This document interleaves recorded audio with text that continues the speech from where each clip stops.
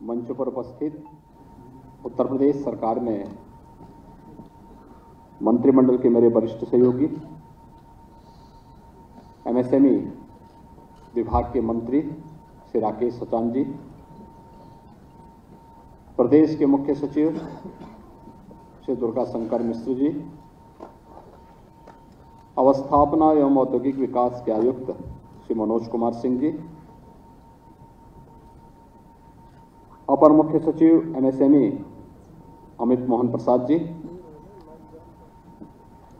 महाप्रबंधक और समन्वयक, एसएलबीसी, श्री समीर रंजन पंडा जी।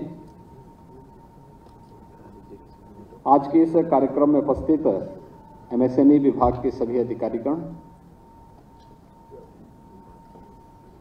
सभी बैंकों के प्रमुख गण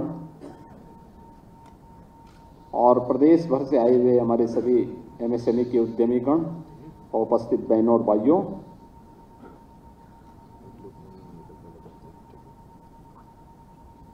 आज यहाँ पर एक बार फिर से इस वित्तीय वर्ष के समापन के पूर्व ही एमएसएमई विभाग के माध्यम से जो लोन मेला वितरण के लोन वितरण के कार्यक्रम प्रदेश के अंदर हुए हैं, यह राशि गत वर्ष की तुलना में दोगुना होने और विगत सात वर्ष के दौरान अगर हम देखेंगे तो यह लगभग दस गुना बढ़ने की ओर अग्रसर हुआ है। यह जो प्रगति है, उत्तर प्रदेश के आर्थिक उन्नयन को तो प्रदर्शित करता ही है, बल्कि उत्तर प्रदेश के युवाओं के लिए रोज़गार के ढेर सारे अवसर भी उपलब्ध हो रहे हैं। मैं इसके लिए विभाग को बैंकर्स को हृदय से धन्यवाद देते हुए सभी उद्यमियों के प्रति हृदय से बधाई और शुभकामनाएँ देता हूँ। बहुत सारे कार्यक्रम आज एक साथ हो रहे हैं। अभी आपने देखा होगा, हम लोगों ने विश्वकर्मा श्रम सम्मान और वन डिस्ट्रिक्ट, वन प्रोडक्ट की योजना के अंतर्गत यहाँ पे टोल किट वितरण किए। इससे पहले निजी क्षेत्र में भी औद्योगिक पार्क विकसित हों, उन्नाव में ग्यारहवां यानी प्रदेश में ग्यारहवां है और उन्नाव का पहला। प्लेस पार्क का भी इंसेंटिव वितरण का एक कार्यक्रम यहाँ पे संपन्न हुआ है। एमएसएमई एक ऐसा विभाग है, जिसने पिछले सात वर्ष में प्रदेश के सूक्ष्म लघु और मध्यम उद्यम क्षेत्र से जुड़े हुए उद्यमियों के लिए एक नई आशा की किरण बनकर के उभरा है। यह प्रदेश के अंदर युवाओं के लिए नए रोज़गार और नौकरी की संभावना वाला क्षेत्र बनना, बनकर के उभरा है। और यह क्षेत्र अपने अभिनव प्रयोग और नवाचार के कारण प्रधानमंत्री मोदी जी के आत्मनिर्भर भारत के लक्ष्य को प्राप्त करने की दिशा में तेज़ी के साथ आगे बढ़ा है। वन डिस्ट्रिक्ट वन प्रोडक्ट की योजना उत्तर प्रदेश ने 2018 में प्रारंभ की थी और विश्वकर्मा श्रम सम्मान की योजना 2019 में प्रारंभ की थी। यानी जनवरी 2018 और जनवरी 2019 में दो महत्वपूर्ण योजनाएँ हमने प्रारंभ की और उत्तर प्रदेश देश का पहला राज्य होगा जिसने एमएसएमई की प्राइवेट इंडस्ट्रियल पार्क हम लोग स्थापित कर सकें 10 एकड़ से लेकर के 50 एकड़ के उस क्षेत्रफल में। और इस कार्यक्रम को हम लोगों ने जिस तेज़ी के साथ आगे बढ़ाया, देखते ही देखते 10 जनपद इस योजना के साथ जुड़ चुके हैं। यह नए भारत का नया उत्तर प्रदेश है। और हम इसीलिए बार बार कहते थे, उत्तर प्रदेश के बारे में जो धारणा थी, उस धारणा को धीरे धीरे करके समाप्त किया गया कि उत्तर प्रदेश कुछ नहीं कर सकता है, जो लोग ये मानते थे। हमारी क्षमता पर प्रश्न खड़े किए जाते थे। आज उन सबको दूर करते हुए उत्तर प्रदेश ने अपनी सामर्थ्य से सबका उत्तर दे दिया है। अब हमें किसी के सामने जवाब देने की आवश्यकता नहीं पड़ती, सफ़ाई देने की आवश्यकता नहीं पड़ती है। हमारा कार्य हमारा जवाब दे दे रहा है। उसका उत्तर दे दे रहा है। तो अभूतपूर्व कार्य प्रारंभ हुए हैं हर एक सेक्टर में। और इस अलग अलग सेक्टर के रिज़ल्ट इस बात को दिखाते हैं कि उत्तर प्रदेश तो अनलिमिटेड पोटेंशियल का स्टेट था। और इसीलिए यूपी कहलाता था।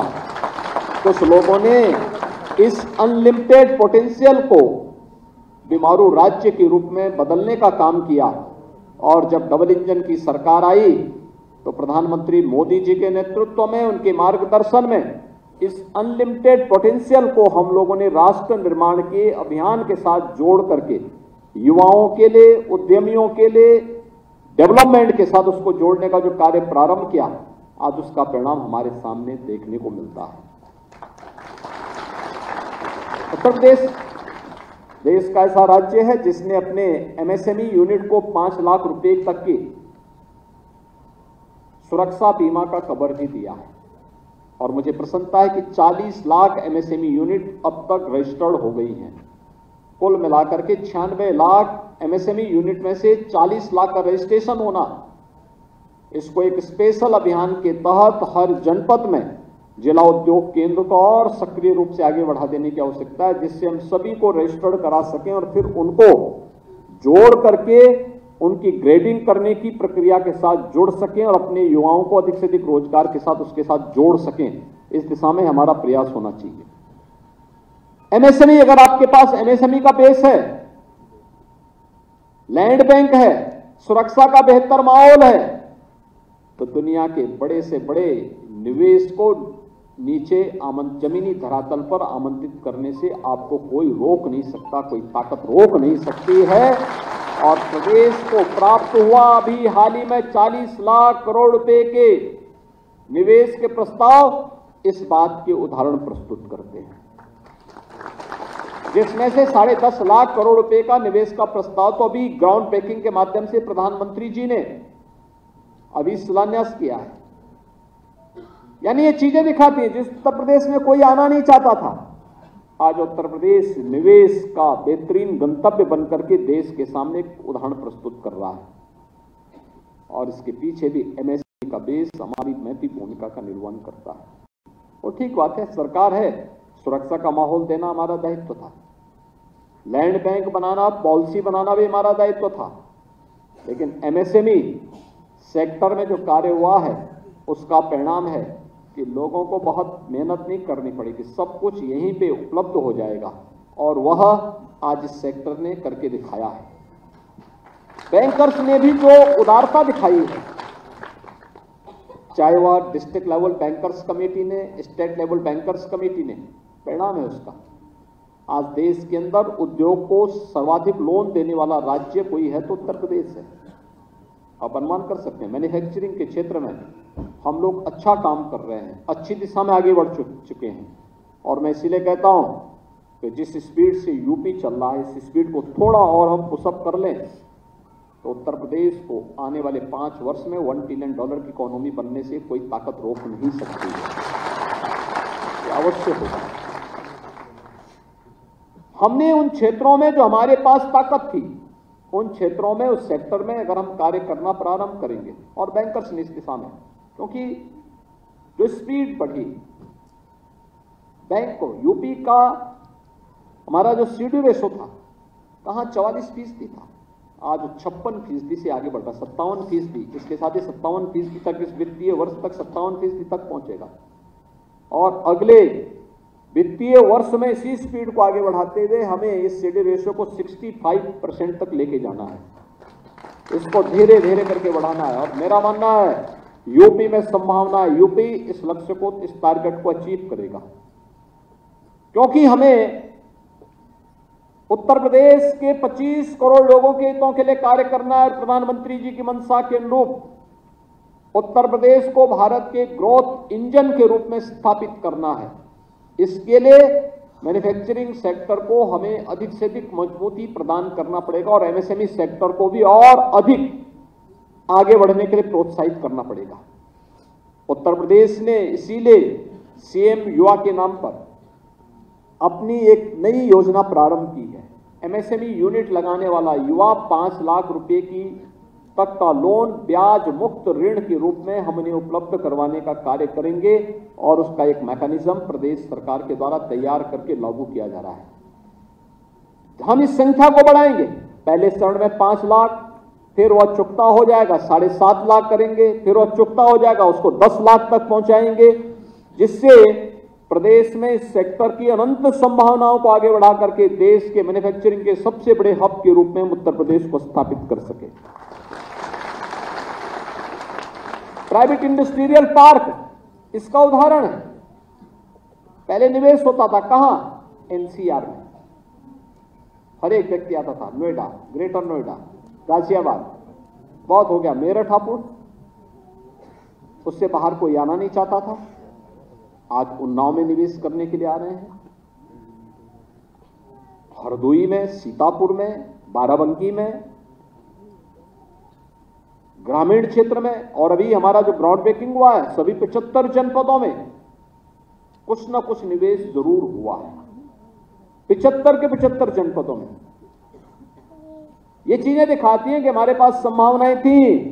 उन संभावनाओं को जमीनी धरातल पर उतारने के लिए जो प्रयास होने चाहिए थे, उसका अभाव था। आज वह सही दिशा में आगे बढ़ा है। हम लोगों ने इस दिशा में कार्य प्रारंभ किया है। और ये कार्य इस बात को देखते हैं, दिखाते हैं। उसका एक लघु चित्र हमारे सामने देखने को मिला था जब इंटरनेशनल ट्रेड शो हम लोगों ने ग्रेटर नोएडा में आयोजित किया था। इस वर्ष भी होगा फिर। सितंबर 2024 में भी एक इंटरनेशनल ट्रेड शो का आयोजन फिर से हम लोग ग्रेटर नोएडा में आयोजित करने जा रहे हैं। अभी से आप सभी तैयारी करें। प्रदेश के हमारे जितने भी मैन्युफैक्चर्ड हैं, जितने भी यूनिट्स हैं, जितने भी एमएसएमई यूनिट हैं, वे सभी लोग वहाँ पे फिर से अपने अपने उत्पाद को ले जा करके उसको वहाँ पे डिस्प्ले करें। बताएँ लोगों के सामने, उत्तर प्रदेश की क्षमता है, उत्तर प्रदेश इस क्षेत्र में आगे बढ़ सक, बढ़ा हुआ है। ये उत्तर प्रदेश के अंदर मौजूद है। हम उस दिशा में आगे बढ़े। सीएम इंटर्नशिप की स्कीम को भी हमें लागू करने की तैयारी करनी चाहिए। ये युवाओं को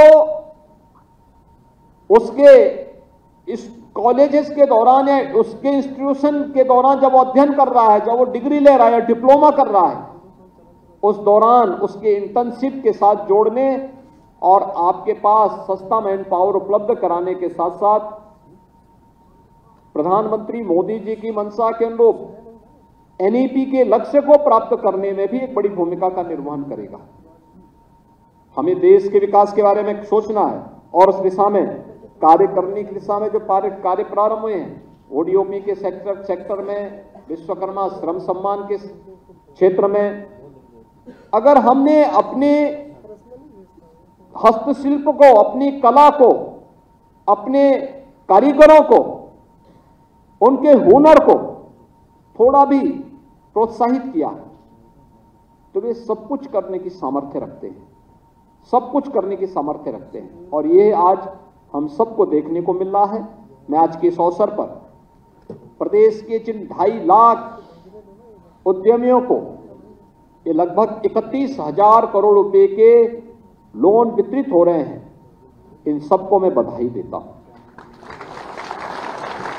वे समय सीमा के अंदर अपने कार्य को आगे बढ़ा दें और अपने कार्यक्रम को आगे बढ़ाने के साथ ही प्रदेश सरकार से कहीं भी कोई समस्या हो, जिला उद्योग केंद्र के साथ संवाद बनाए, डिस्ट्रिक्ट एडमिनिस्ट्रेशन के साथ संवाद बनाए कोई समस्या होती है तो विभाग के साथ और मुख्यमंत्री कार्यालय के साथ संवाद बना करके इन समस्याओं का समाधान करने की दिशा में उनको आगे बढ़ना चाहिए। सरकार उनको पूरा सपोर्ट करेगी। प्रदेश ने इसके साथ ही प्रदेश का ग्यारहवा प्लेस पार्क उन्नाव में, आज मैं उन्नाव में ही जा रहा हूँ। और मुझे प्रसन्नता है कि जाने के पहले हम लोग वहाँ के प्राइवेट इंडस्ट्रियल पार्क को यहाँ पे उनका चेक भी वितरित किए हैं। मुझे पूरा विश्वास है उन्नाव में यह फ्लैश पार्क समय सीमा के अंदर तैयार होकर के अपने भूखंडों का आवंटन करने के साथ साथ वहाँ पे एमएसएमई की यूनिट लगाने की कार्रवाई को भी तेज़ी के साथ आगे बढ़ा पाएगा। प्रदेश के अंदर विश्वकर्मा श्रम सम्मान और ओडीओपी योजना के अंतर्गत टूल किट वितरण, उनका प्रशिक्षण होने के साथ ही उन्हें टूल किट वितरण का भी कार्यक्रम आज यहाँ पे संपन्न हुआ है, फिर से हुआ है। इस प्रक्रिया को हमें और तेज़ी के साथ नई टेक्नोलॉजी के साथ, नए तरीके से आगे बढ़ा करके उनकी ग्रेडिंग की प्रक्रिया को भी आगे बढ़ाने की आवश्यकता है। मार्केट की डिमांड क्या है? किस प्रकार की? क्योंकि अब तो मैं देखता हूँ, कोई पर्व और त्योहार आता है या कोई किसी के यहाँ जा रहा है गिफ्ट लेके जा रहा है, चाइना के उत्पाद को हम लोगों ने अपनी मार्केट से एकदम दूर कर दिया है। एमएसएमई यूनिट का परिणाम क्या है? इससे बड़ा राष्ट्रवाद और क्या है? अगर हमारा कारीगर हमारा हस्तशिल्प और हमारे घर में बना हुआ उत्पाद मार्केट में छा रहा है, हमें उसको प्रोत्साहित करना होगा, प्रेरित करना होगा, उसके लिए प्लेटफॉर्म देना होगा। और पर्व और त्योहार का इससे अच्छा आनंद और क्या हो सकता है कि हमारे लोगों के द्वारा बनाया गया उत्पाद हमारे मार्केट में छा रहा है और दुश्मन देश का उत्पाद मार्केट से दूर भागता जा रहा है। लोगों ने अघोषित रूप से स्वयं उसका बहिष्कार कर दिया। दीपावली हो, विजयादशमी हो, ईद हो, क्रिसमस हो, किसी भी पर्व और त्योहार के समय हम लोग देखते हैं कि अब यहाँ का बना हुआ उत्पाद यहाँ के मार्केट में देखने को मिलता है। और उसमें उत्पाद तो अच्छा होता ही है। साथ साथ हमारे कारीगर, हमारे हस्तशिल्पी और हमारे उद्यमियों के चेहरे की चमक भी इस बात को बताता है कि अब उनको लगता है कि भविष्य उनका उज्जवल है, उनकी विरासत को संरक्षित करने का जो कार्य इन योजनाओं ने किया, उसको भविष्य उज्जवल है और मैं इस अवसर पर चाहूँगा कि विभाग अभी से तैयार करे। जो हमने कॉमन फैसिलिटेशन सेंटर अलग अलग जगह जनपदों में हम स्थापित कर रहे हैं, वे ग्रेडिंग तय करें मार्केट की मैपिंग भी करें। किस प्रकार की डिमांड है, उस प्रकार का प्रोडक्ट भी अगर हम उपलब्ध करवा सकें, जिसको पैकेजिंग के साथ जोड़ करके अच्छे तरीके से आप प्रस्तुत कर देंगे। तो यह पूरे देश के अंदर छाने में इसको देर नहीं लगेगी, बहुत देर लगेगी नहीं।